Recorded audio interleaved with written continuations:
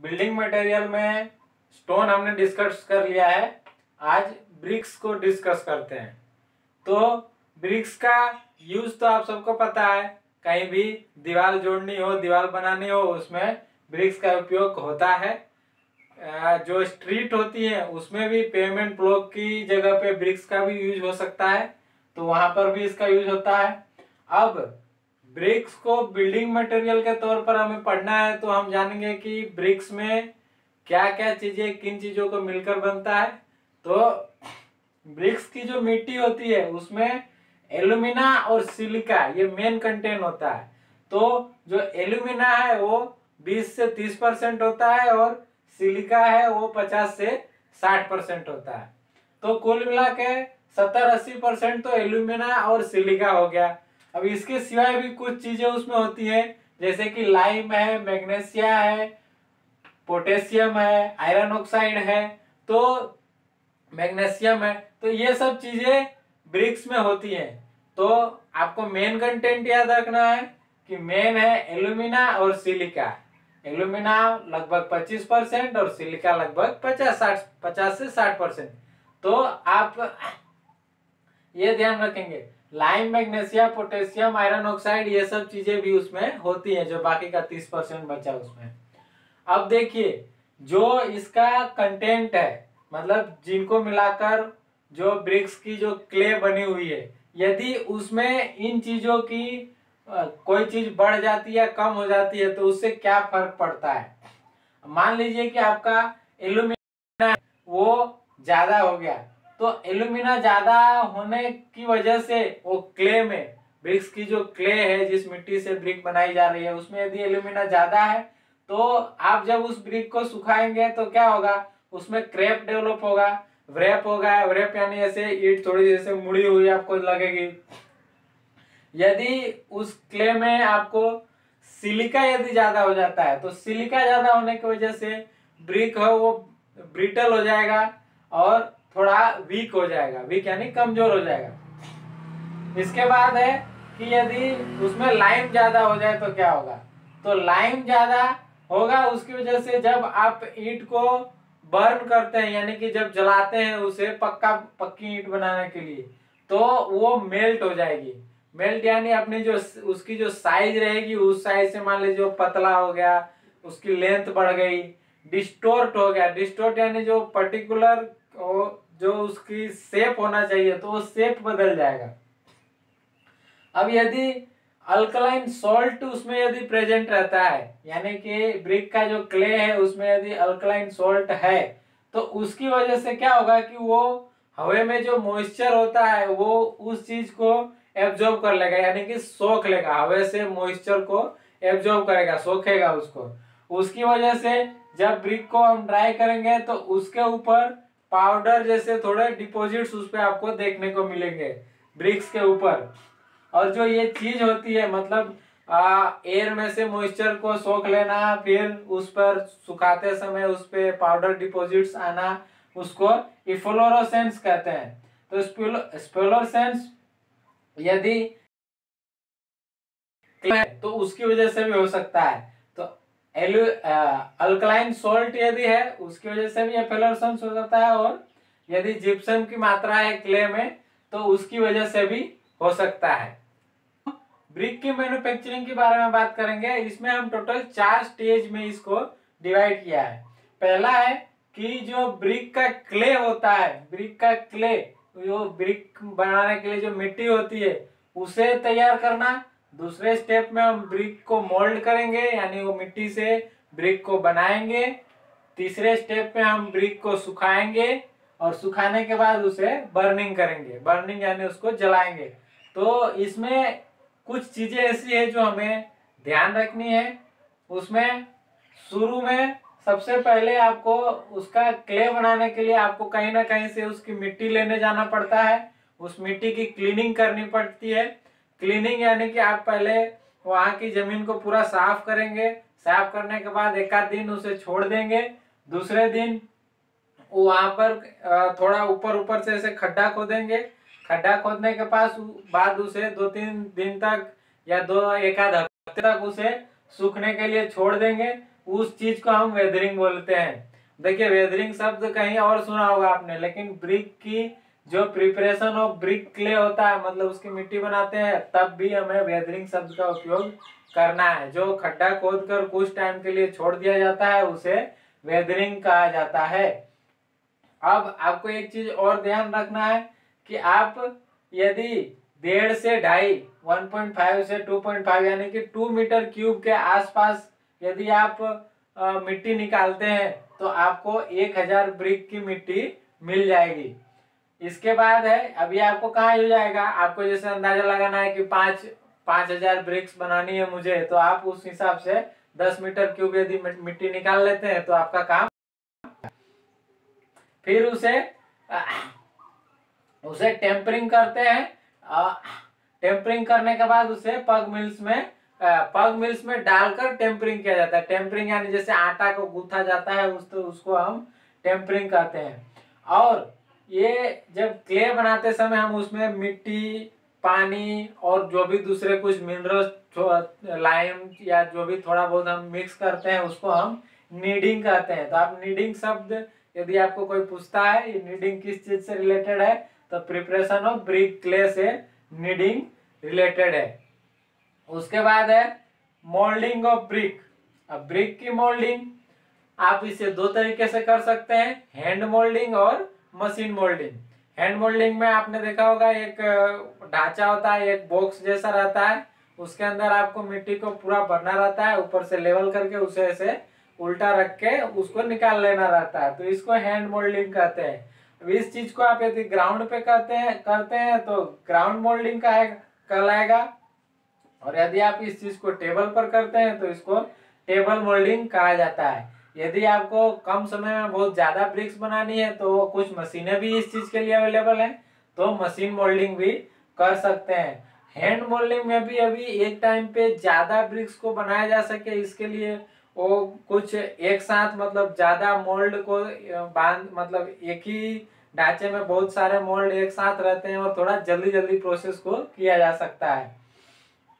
Plastic method और dry process method को use किया जाता है। और हैंडमेड ब्रिक होता है, वो सुपीरियर होता है मशीन मेड से। यानी कि जो हाथ से बनाए हुए ब्रिक्स रहते हैं, वो उनकी क्वालिटी उनका जो ओवरऑल परफॉर्मेंस है, वो मशीन मेड जो ब्रिक रहता है, उससे अच्छा रहता है। अब हम ड्राइंग ऑफ़ ब्रिक यानी कि ब्रिक को सुखाने की बात करते हैं तो उसमें आपको दो तरीके हैं, आप यदि या तो उसे नेचुरली सुखा दीजिए या फिर उसे आर्टिफिशियली सुखाए। यदि आपको बहुत जल्दी है ब्रिक की, आप, आपकी बड़ी फैक्ट्री है, जगह कम है तो आप उसे आर्टिफिशियली कर सकते हैं। नहीं तो नेचुरली तरीका बेस्ट होता है। नेचुरली हमेशा बेस्ट होता है। तो ये आपको एक से दो दिन लगता है। आपका जो ब्रिक होता है मोल्डिंग करते समय ऐसे उल्टा रहता है। उसे सुखाने के लिए कुछ दिन, एक दिन बाद उसे सीधा करना पड़ता है। तो ये हो गया। अब जहाँ पर इस ब्रिक को सुखाया जाता है, देखिए, बर्निंग की बात अभी नहीं हो रही है, सुखाने की बात हो रही है। तो सुखाने के लिए भी ज़मीन को आसपास की ज़मीन से थोड़ा ऊँचा रखा जाता है। तो उस ज़मीन को हेक्स कहते हैं। आपको यदि कहीं कह दे कि हेक्स क्या होता है तो rise ground for drying of brick is called hacks. यदि यदि ड्राइंग अच्छे से नहीं होती है तो इसमें क्रैक और डिस्टोर्शन पैदा हो सकता है। डिस्टोर्शन यानी ब्रिक का ऐसे थोड़ा मुड़ जाना और क्रैक यानी उसमें जो क्रैक पड़ जाते हैं। इसके बाद है बर्निंग ऑफ़ ब्रिक ब्रिक को अब जलाकर उसे पक्की ईंट बनाना है, लाल लाल ईंट बनाना है। तो इसके दो तरीके हैं, या तो आप क्लैंप में कीजिए या किल में कीजिए। क्लैंप किसे बोलते हैं? जो ईंटों को, जैसे ईंट का एक लेयर का एक लेयर जैसे गोबर है लकड़ी है, फिर दूसरा वापस एक ईंट का लेयर गोबर, लकड़ी या कोयले, उसका लेयर फिर ईंट का लेयर ऐसे एक बट्टा जैसा उसको क्लैंप बनाया जाता है और उसे नीचे से आग लगाई जाती है। तो ये क्लैंप है और किल तो देखा होगा आपने, वो चिमनी रहती है ऊँची ऊँची उसमें से धुआँ निकलते रहता है और पूरी चिमनी। इन दोनों का मैं आपको फ़ोटो दिखाता हूँ। क्लैंप में आपको क्या याद रखना है कि फ़र्स्ट क्लास जो ब्रिक होता है, यानी कि सबसे अच्छी क्वालिटी वाला ब्रिक लगभग सिक्सटी परसेंट आपको मिलेगा। बाकी के चालीस परसेंट ब्रिक जो आपके रहेंगे वो सेकंड क्लास थर्ड क्लास में चले जाएँगे। और उसी तरह यदि आप किल में बनाते हैं तो आपको 80 से 90 परसेंट आपको फ़र्स्ट क्लास ब्रिक मिलेंगे। तो अभी के टाइम पे तो यही यूज़ होता है। मैं जब छोटा था तब ये से क्लैंप वाला तरीका यूज़ होता था। किल में आपको 24 घंटे उसे बर्न करना पड़ता है, और उसको बर्न करने के बाद लगभग 12 से 13 दिन उसे लग, मतलब दो हफ़्ते के आसपास उसे कूल होने के लिए छोड़ दिया जाता है यानी कि उसे ठंडा होने के लिए छोड़ दिया जाता है। अब इसमें एक चीज़ आपको याद क्या रखना है कि जो टेम्परेचर होता है वो हज़ार से बारह सौ डिग्री सेल्सियस पे ब्रिक को जलाया जाता है। तब जाकर हमें अच्छी ब्रिक्स मिलती है। तो हमने इसमें चार चीज़ें देखी। सबसे पहला क्ले का प्रिपरेशन उसके बाद मोल्डिंग ऑफ़ ब्रिक यानी ब्रिक को मोल्ड करना। उसके बाद ब्रिक को सुखाना और उसके बाद ब्रिक को जलाकर पक्की ईंटें बनाना। तो आप इसे हैंड रिटर्न लिखना हो, वहाँ भी लिख सकते हैं, यदि आप ये पॉइंट्स नोट डाउन करके रखते हैं तो। और यदि आप इसमें से एमसीक्यू आपको पूछे जाए तो भी आप जवाब दे सकते हैं। जैसे कि आपसे पूछा जाए कि एक हज़ार ब्रेक बनाने के लिए लगभग कितना मीटर क्यूब मिट्टी चाहिए होती है तो डेढ़ से ढाई। यदि आपको पूछा जाए कि उसका टेम्परेचर बर्निंग टेम्परेचर कितना होता है तो आप लिख सकते हैं, हज़ार से बारह सौ। यदि आपसे पूछा जाए क्लैंप में फ़र्स्ट क्लास ब्रिक लगभग कितनी मिलती है तो सिक्सटी परसेंट किल में कितनी मिलती है तो अस्सी से नब्बे परसेंट हेक्स क्या होता है? जो राइजेड ग्राउंड होता है, उसे हेक्स कहते हैं. नेचुरली जो ब्रिक को नेचुरली ब्रिक को यदि ड्राई सुखाना है तो एक से दो दिन लगते हैं. तो ये छोटी छोटी चीज़ें आपको पूछी जा सकती हैं एमसीक्यू में. नीडिंग क्या होता है? तो जो ब्रिक का क्ले बनाने के लिए जो उसमें मिट्टी, पानी और उसमें दूसरे जो भी मिनरल्स होते हैं, उन्हें मिलाया जाता है, उसे नीडिंग कहते हैं। तो ये ब्रिक्स को हम मेनली चार पार्ट में डिवाइड कर सकते हैं। एक है फ़र्स्ट क्लास ब्रिक दूसरा है सेकंड क्लास ब्रिक और तीसरा है थर्ड क्लास ब्रिक और चौथा प्रकार है झामा ब्रिक तो इन चारों को थोड़ा डिटेल में देखते हैं। चारों का नाम याद रखना ज़्यादा ज़रूरी है। और फ़र्स्ट क्लास ब्रिक में आपको थोड़ी प्रॉपर्टी याद होनी चाहिए। प्रॉपर्टी में भी जो बहुत ही अच्छे तरीके से बंट ब्रिक होगा, उसी को हम फ़र्स्ट क्लास ब्रिक कहेंगे। और जो बर्निंग प्रोसेस थी, उसमें आपने देखा था कि 80 से 90 परसेंट ब्रिक किल में यदि हम उसको जलाते हैं तो 80 से 90 परसेंट ब्रिक हमें फ़र्स्ट क्लास ब्रिक मिलती थी। तो अच्छे से बर्न हुए ब्रिक को फ़र्स्ट क्लास ब्रिक कहेंगे। उसका जो ब्रिक का जो सरफेस रहेगा एकदम स्मूथ आपको मिलेगा और उसका जो शेप रहेगा वो परफेक्ट रेक्टेंगुलर रहेगा। सारे उसके जो कॉर्नर रहेंगे, वो आपको परफेक्ट सीधे दिखेंगे। उसके बाद है कि उसका जो कलर रहेगा वो यूनिफॉर्म रेडिश रहेगा। देखिए, थोड़ा सा रेडिश से थोड़ा अलग हो, उससे मतलब नहीं लेकिन यूनिफॉर्म कलर होना चाहिए। मतलब एक ही कलर का पूरा ब्रिक दिखना चाहिए तो फ़र्स्ट क्लास ब्रिक में आएगा। उसके बाद एक याद रखने वाली चीज़ है कि फ़र्स्ट क्लास ब्रिक को यदि हम 24 घंटे तक पानी में डुबाकर रखते हैं तो अपने खुद के ड्राई वेट से 20 परसेंट से ज़्यादा पानी वो नहीं सोखेगा। अब इस चीज़ को हम कैसे समझते हैं? देखिए, मान लीजिए एक ब्रिक है, उसका वज़न पाँच किलो है, ठीक है? अब उसको हम 24 घंटे तक पानी में डुबा के रखते हैं तो उसका वज़न हुआ छह किलो। इसका मतलब हुआ कि एक किलो उसमें मतलब एक लीटर उसमें पानी एब्जॉर्ब हो गया। तो पाँच किलो पे एक लीटर पानी एब्जॉर्ब हो रहा है, इसका मतलब ट्वेंटी परसेंट पानी एब्जॉर्ब हो रहा है। इससे ज़्यादा यदि पानी वो सोख लेता है इससे ज़्यादा पानी एब्जॉर्ब कर लेता है तो वो फ़र्स्ट क्लास ब्रिक नहीं कहा जाएगा। क्योंकि first class brick twenty percent उसके खुद के ड्राई वेट से ट्वेंटी परसेंट से ज़्यादा वाटर एब्जॉर्ब नहीं करता है। इसकी जो क्रशिंग स्ट्रेंथ है, वो ten M per metre square आपको मिलेगी। तो ये भी आपको याद रखना है, आप इसको टेन पॉइंट फाइव भी कर सकते हैं मतलब कहीं कहीं साढ़े दस, ग्यारह आपसे ग्यारह यानी कि साढ़े दस के आसपास होगी। बात करते हैं सेकंड क्लास ब्रिक की तो ज़्यादा कुछ डिस्कस करने जैसा नहीं है।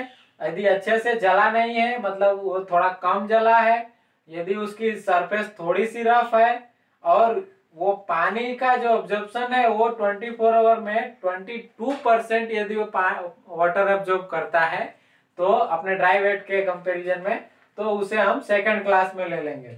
उसके बाद है थर्ड क्लास ब्रिक तो इसको अंडर यानी कि बहुत कम मान लीजिए उसकी जो बर्निंग प्रोसेस है, उसमें थोड़ी कमी रह गई है तो उसे हम थर्ड क्लास में लेंगे। और ये थोड़ा आपको सॉफ्ट मिलेगा और इसको यदि आप तोड़ने जाएँगे तो इजिली ब्रोक हो जाएगा। और यदि हम इसको 24 घंटे तक पानी में डुबा कर रखते हैं तो हमें 25 परसेंट तक आपको इसमें वाटर एब्जॉर्प्शन मिल जाएगा। यानी उसके ड्राई वेट से 25 परसेंट ज़्यादा हो जाएगा। अब बात करते हैं झामा ब्रिक की। तो झामा ब्रिक वो ब्रिक होता है जो ओवर बर्ट हो गया है। आप देखिए यदि अच्छे से जला है तो फ़र्स्ट क्लास थोड़ा कम जला सेकंड क्लास ये तो उससे भी कम मतलब जलना बाकी रह गया, वो अच्छे से नहीं जल पाया तो थर्ड क्लास लेकिन झामा ब्रिक क्या है? ओवर बंट है। ओवर बंट होने की वजह से इसका जो शेप होता है, वो इरेगुलर हो जाता है और इसका जो कलर होता है, वो डार्क ब्लूइश टाइप हो जाता है। डार्क ब्लूइश टाइप आपको जब कलर देखने को मिलेगा तो इसका वो जामा ब्रिक के तौर पे उसको क्लासिफाई करेंगे। बात करते हैं ब्रिक के साइज़ की। तो ब्रिक की साइज़ है 19 into nine into nine centimetre ये इसकी स्टैंडर्ड साइज़ है। ठीक है? ये किस तरीके से आप इसको देख सकते हैं कि मैं एक छोटा सा यहाँ ब्रिक बनाता हूँ। ये हो गया आपका ब्रिक।